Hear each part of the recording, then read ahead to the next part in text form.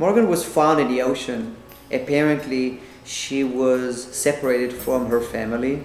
Imagine if you were a young female orca and you're living out in the ocean having a great time and somehow you manage to get separated from your family.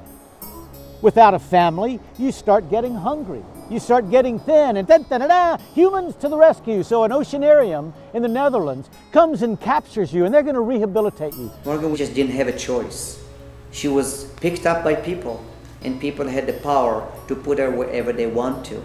So they bring you and plop you in captivity and feed you and take care of you, the idea and under the auspices of returning you back to the ocean. But after a year or so, they decide, oh, no, no, no. You're not ready to go back into the ocean. In fact, I don't think you're a candidate. There's no reason after you rehabilitate an orca to keep her because we think that we can teach the orca tricks. We can put her in an aquarium and then later on we can profit from her. This is the size of Morgan's tank. And this is the size of Morgan. What's amazing is that she's been kept in this tank for over a year. We have learned a long time ago that marine mammals in captivity are like humans in jail. Their primary sense is acoustic, ours is vision, and when you put a marine mammal, Morgan in particular, in a tank, there is no way for this creature to have a normal life.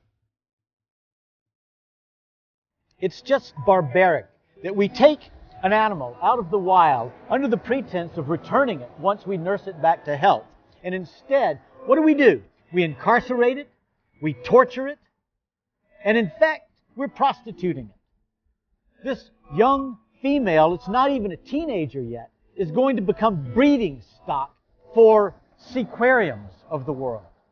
Orcas are absolutely fascinating creatures.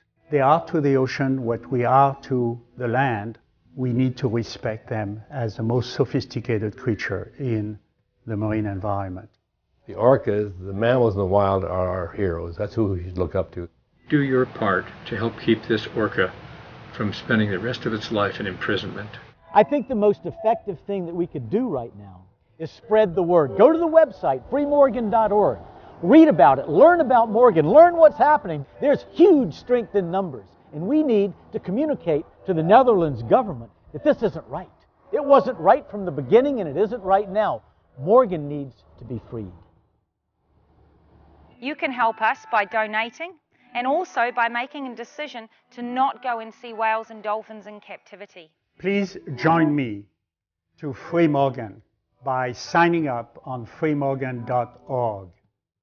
Thank you.